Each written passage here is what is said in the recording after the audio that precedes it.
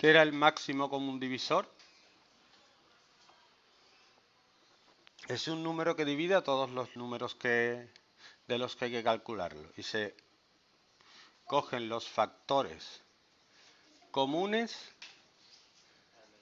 elevados al menor exponente. Ahora,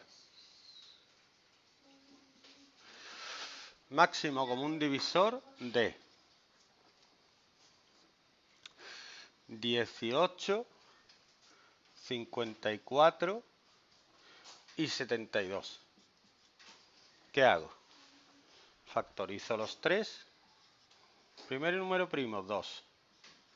Ya entre 2 no cabe, entre 3, 3, 3, 1, 54.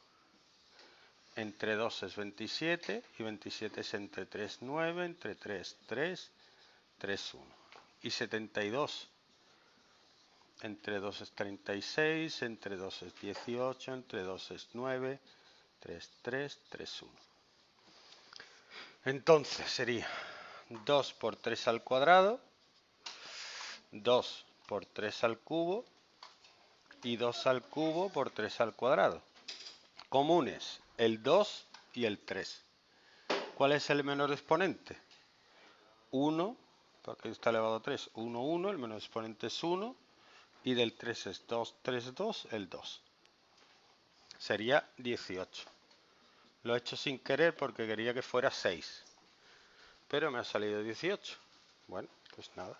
¿Por qué es máximo común divisor? Porque es el número más grande que divide exactamente, es decir, con el resto 0 a los 3. 54 entre 18 es 3. Fíjate que 3 es el número que sobra aquí. No, espérate. 4. 3. 3 por 18, 50. Ah, vale, estaba mirando este. Si quitas 2 por 3 al cuadrado, te sobra un 3. Y aquí, 72 entre 18 es 4. Si quitas de aquí 2 y 3 al cuadrado, te queda 2 al cuadrado, que es 4.